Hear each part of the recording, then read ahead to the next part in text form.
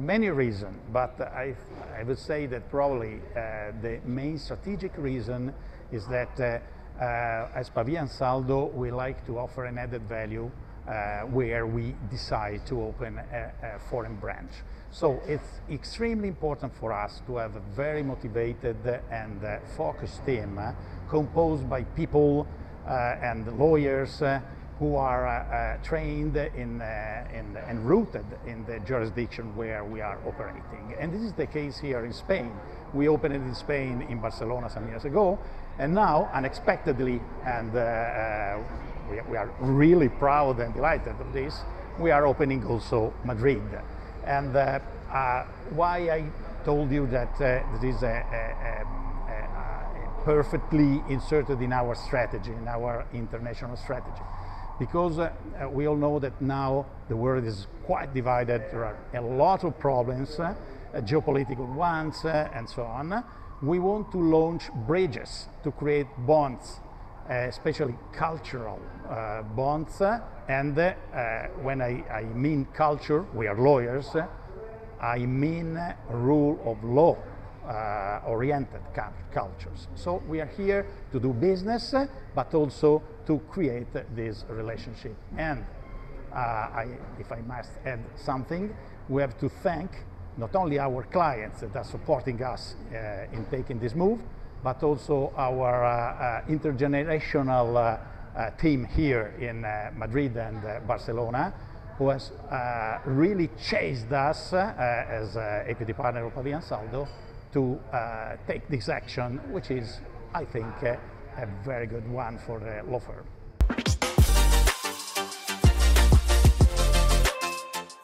Um, we are in Spain since uh, 2016 with the office in Barcelona. And we opened with the main focus of M&A. That's my practice area in Pavia Ansaldo since ever. Uh, cross-border M&A. Uh, we started with a small team specialized in corporate and then we added other experts in labor, tax, data protection. So we have a very strong team dedicated substantially to M&A, industrial and private equity.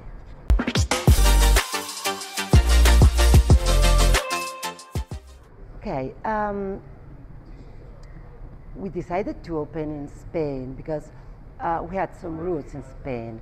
I um, had the um, support of my partners being duly qualified in Spain and Italy to start this adventure in Barcelona.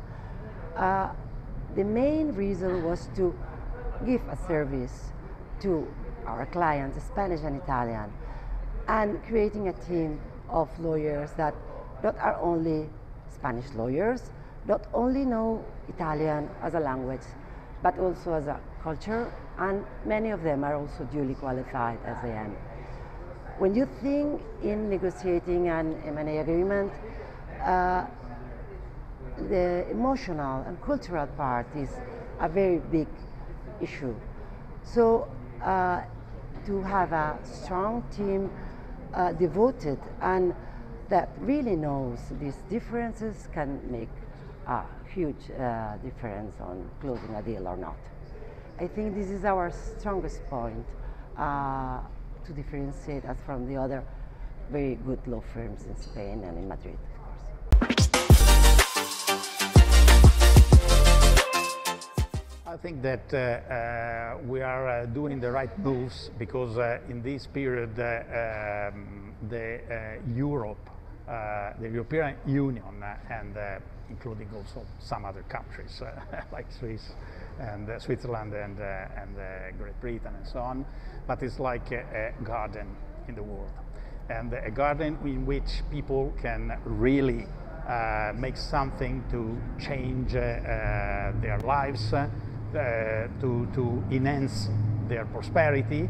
In the meanwhile, abiding by a lot of excellent rules to change the world. So environmental uh, uh, protection of, uh, of personal data uh, and uh, governance inspired to gender equality principles and so on. This is something that is suffered sometimes, but uh, today is something that really it's a mark of the of the values that in uh, uh, Europe we have. And Spain and Italy are completely on the same page in this respect. So I think that uh, our future here in Italy, the inbound investments here and there will, uh, will be uh, excellent in the future because there is a very solid basis for this.